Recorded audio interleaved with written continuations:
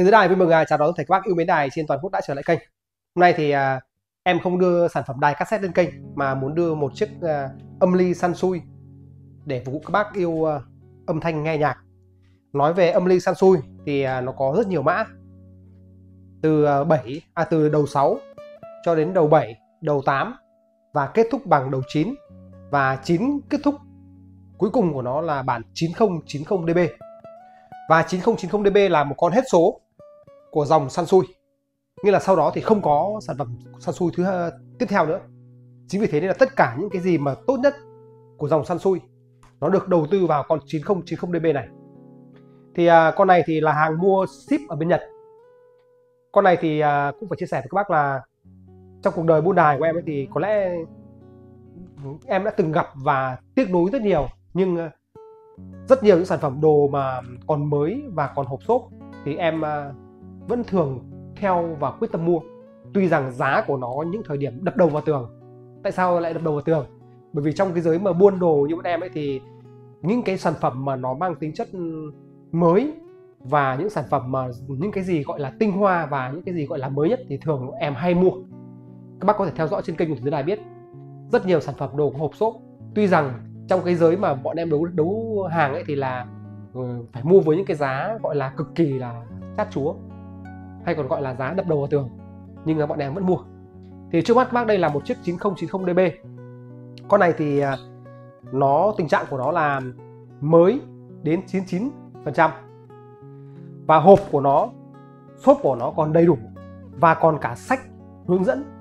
Tất cả những cái giấy tờ trên cùng với chiếc âm ly này, nó là hàng từ khi xuất xưởng ra. Kể cả cái hộp này cũng trùng email với cái à, âm ly và kể cả sách cũng trùng với email của chiếc âm ly. Đấy. Và sau đây thì em à, sẽ tiến hành à, quay cái hình thức của cái hộp trước sau đó sẽ mở cái hộp ra và tiến hành quay cả cái âm ly. Ngoài ra thì em sẽ tiến hành tháo cả âm ly ra quay nội thất bên trong cho các bác cùng quan tâm. Và cũng phải nói luôn với các bác là giá của những chiếc âm ly này nó không phải là sản phẩm rẻ tiền và nó là hàng siêu tầm.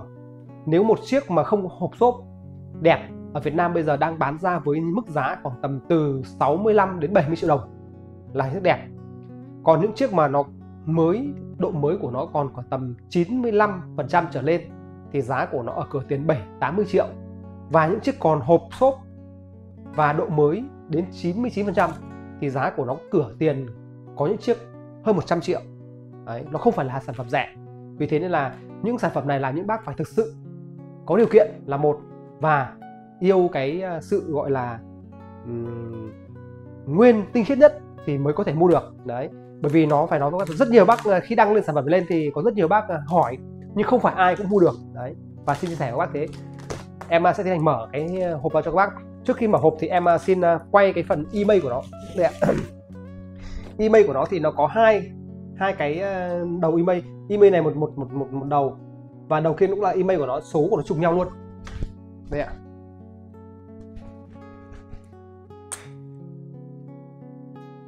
Video này có thể nó sẽ kéo ra hơi dài, vì thế các bác hãy à, nán lại để xem hết video nhé đây ạ.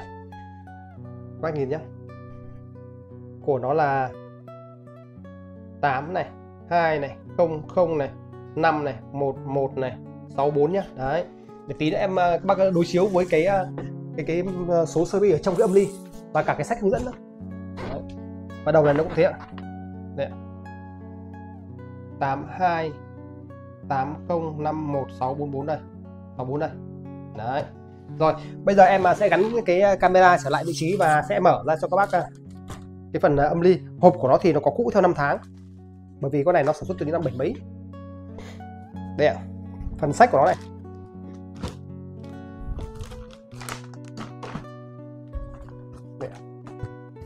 Tay em gắn camera, cầm camera nên tầm tầm quay phim. Đây.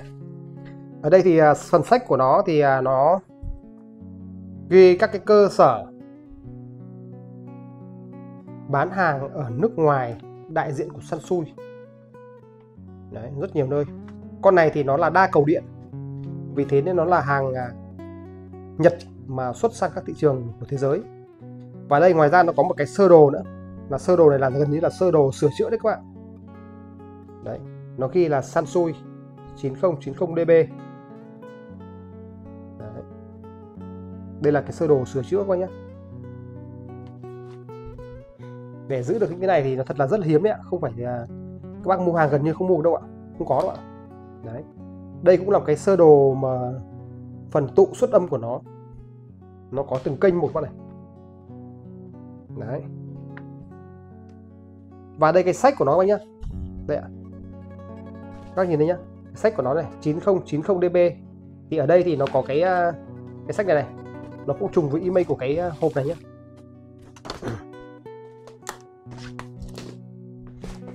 đây à đây bạn nhé đấy. Đấy bạn nhìn chưa? 82501164 để lấy nét lại. Đây, đây. nét này. Đấy thế nó mới là gọi là những sản phẩm mà siêu tầm. Chứ còn nếu như trường hợp một cái âm ly lại lấy cái thùng khác cho vào thì nó không có giá trị nhiều. Đấy. Âm ly đây ảnh đấy. Thì trong cái này có những tài liệu gì thì sau này à, em sẽ chuyển đến người mua đầy đủ các thông tin sản phẩm này. Và em cũng phải nói luôn với bác là giá của nó ở cửa tiền hàng trăm triệu.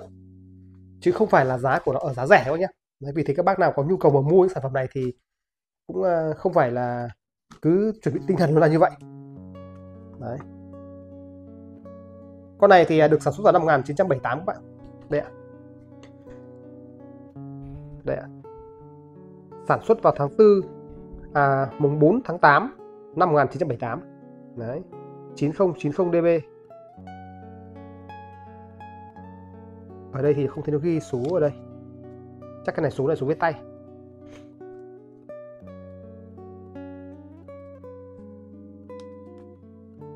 Đây là quyển sách hướng dẫn các bạn Đấy. đây là có cái phiếu nữa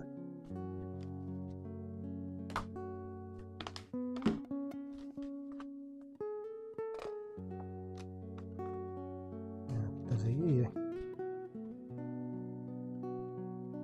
rồi, bây giờ em sẽ bỏ cái à, cái thủ tục giấy tờ này vào và sẽ à, chuyển sang à, phần mở chiếc hộp này ra để các bác cùng chiêm ngưỡng nhá, đấy. Thì đây nó còn cả cái à, túi ni lông ở đây. Hay còn gọi là như bọn em hay trong giới chuyên là gọi là cái áo. Đây ạ à, xốp vào đây ạ. Xốp đây. Đấy. đấy. Mình bỏ xốp ra. Đấy, một tay em à, vừa quay camera một tay em vừa cầm à, vừa vừa dỡ nên là nó sẽ hơi hơi hơi khó dỡ gọi bởi vì nếu không cầm này thì nó sẽ rất là bác xem nó rất là khó xem. Đấy. Đây ạ. À. đây các bác nhé đấy độ mới của nó thì à, theo em đánh giá là nó chưa có biết sức nào. Bởi vì hàng này thì gần đến những hàng này thì không bao giờ có sức sát đâu ạ. Đấy, bây giờ em sẽ hạ camera xuống và tiến hành à, nhấc chiếc hộp này ra và cho hẳn chiếc cái à, âm ly ra ngoài, sau đây để quay cho các bác nhé. Bác nhìn nó chưa có một vết xước sát gì nhá. Đấy, không có một vết xước nào luôn ạ. Những sản phẩm này thì nó là một những sản phẩm rất là đáng sưu tầm. Đấy, vì thế nên là các bác mua nào mua được cũng là một cái điều kiện mà có thể nói rằng là một cái rất là khó tìm được những sản phẩm như thế này. Đấy bây giờ em sẽ ờ, gắn camera lại và à, chuyển cái um, âm ly ra ngoài. Sau khi mà em ờ, mở hết cái hộp số của nó ra thì toàn bộ phần âm ly nó như thế này. Đấy. Âm ly thì chưa có một vết xước sát chảy xước gì luôn bạn nhé. Đấy. Đây thông tin ở phía trước này nó ghi là 9090 dB ở đây thì nó có hai cái đèn này là đèn vu ở đây và dưới nó có hai đèn ở đây nữa. Đấy. Hai đèn vu này là em nghĩ là đèn vu này cho phần uh, radio đấy. Thì ở đây có rất nhiều những cái tinh chỉnh. Ở đây thì có phần mặt trước này các bác nhìn thấy thì nó ghi cái phần này speak này là có rất cầu loa. Hai cái mic ở đây gọi là hai cái này là cho cái tai phone. Và ngoài ra thì có chỉnh các tần số bát ở đây. Bát thì ở đây nó có rất nhiều tần số chỉnh. Bát từ 150 Hz đến uh, đề bát và có 300 Hz đấy là phần bát ở đây thì có chỉnh bát riêng này check riêng này và một cái nữa là cái chỉnh uh, Moranker này cái là em nghĩ là chỉnh chung cho cả check cả bát. Đấy phần đây thì có check thì có chỉnh cho từng giải một luôn. Đấy có giải từ ờ, bed này từ ờ, 15 kHz này. Đấy và đây là volume chính. Đấy ở đây thì ờ, nó có cái phần mạch này là phần dock đi thì phần dock đi ở đây thì nó cũng có rất nhiều ờ, có ba nút tinh chỉnh và đây nó còn cả cái tem cờ nữa này. Đấy. Em xin phép là cầm cái hạ cái thấp xuống cái cái cái chân đế của camera xuống để quay cho quát nó dễ sau đó thì em sẽ so sánh cái series của nó với cái um, đây ạ.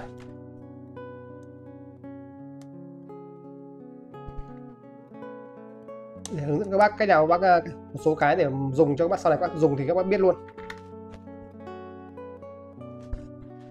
Đây ạ. Còn cả cái tem cờ đây các này thì à, trở lại cái phần à, series của chiếc à, phân âm ly này thì em à, sẽ quay cái cái phần phía sau của nó cho các bác. Đây ạ. Phần phía sau của nó thì nó còn cả những cái giấy tờ này. Đây ạ. Con này là sản xuất năm 1978 thì ở đây nó có cả series ở đây. Hạn quay một chút. Đây ạ bác nhìn rõ chưa? Đấy. Thế thì à, cái sách của nó thì à, vừa nãy em đã nói rồi. Cái số series ở sách thì à, ở, ở quyển sách thì đây. Đây để đối chiếu được các bác này. Đây. 1164 nhá. Và ở trên cái cái này cũng là 1164 luôn. Đây ạ. Mình muốn nhìn rõ hơn thì thút cái này ra. Chúng đang có cái, cái chắn ở giấy ở đây. Đấy 1164 luôn nhá. Em view camera lên tí cho nó nhìn nó rõ nhá. Đấy như vậy là cái ờ, số series ở trên cái ờ, âm ly này sách hướng dẫn này. Đấy. Và trên hộp là đều trùng nhau hết. Đấy. Thì ở đây nó có một cái anten ở đây các bạn. Ở đây thì nó có rất nhiều những cái à, đường ra à đường vào. À, các bác lưu ý này nếu các bác muốn đường vào mà tốt thì các bác nên để đường tết này nhé đấy. Đây ạ đường này đường à, đây có đường AUX này. Vào đây có tết này tết 2 này tết 1 tết 2 này. Đây là cái này là ghi băng này. Và những cái này là cái đường cho AUX này AUX đây. Đấy. đây là cái giấy này là cái giấy uh, hướng dẫn. Thì các bác lên lưu ý nên cắm này. Hai cái này với nhau này hai cái này với nhau này và hai cái này với nhau này hai cái này với nhau. Nhiều bác cắm là cắm ngược này cắm ngược lên này dẫn đến nó học âm ly lưu ý. Đấy thì phần đằng sau của nó thì à, tổng thể đây ạ.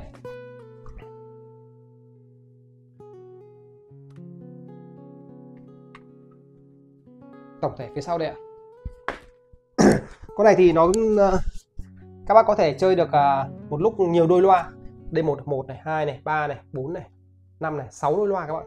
Đấy. Một loa này hai loa này ba loa này bốn loa này năm loa này sáu loa này. Và công suất của con này thì à, của nó là em xem mắc của nó bao nhiêu watt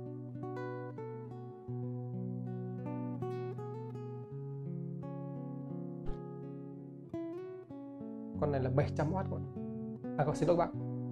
Nó là 435W đấy. Con này dùng đa cầu điện. Mắc của nó là 475W đấy một con âm ly có thể nói rằng là rất gấu. Rồi xin uh, kết thúc cái phần uh, à, bên uh, quay phía ngoài. Sau đây thì em sẽ tháo ruột gan của nó ra, quay cho các bác bên trong nhé. Phần tháo chiếc âm ly này thì cũng rất đơn giản thôi, các bác chỉ cần tháo có hai ốc hai bên này. Và hai ốc hai bên này thì cái hồi này của nó là bằng gỗ ạ. Đây. Cái này là một gỗ sồi ạ. À quên, đúng rồi, gỗ sồi. Đấy. Theo được biết cái này là gỗ sồi này là gỗ là gỗ thịt luôn đấy đấy nhá. Đây nó có một cắn tản nhiệt ở đây. Đấy. Gần hút rất đẹp.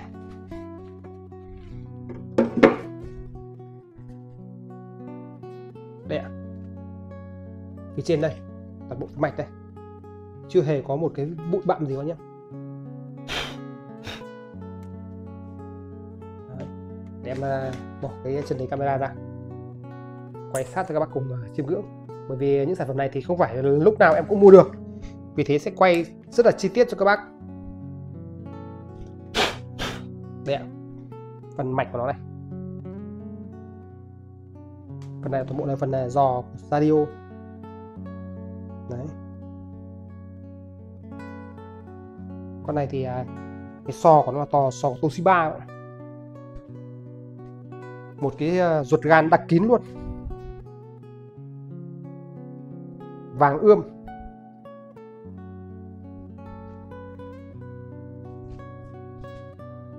Sản phẩm này thì à, từ năm 1978 nghĩa là bằng tuổi em luôn ạ nghĩa là em à, năm đẻ năm 1978 em đẻ vào tháng 4 năm 1978 và con này thì à, thông tin ở trong cái phiếu con này thì không nhầm là mùng à, mùng 4 tháng 8 năm 1978 là chữ âm linh được sản xuất. Có ngày sản xuất luôn ạ. Đấy. vì thế nên là những chiếc âm linh như thế này thì giờ đây nó là những chiếc mà có thể nói là rất là hiếm. Hiếm gặp trên thị trường. Những chiếc còn hộp xốp sách chiếc đầy đủ như này. Rất ít đấy ạ. Không phải dễ đâu ạ.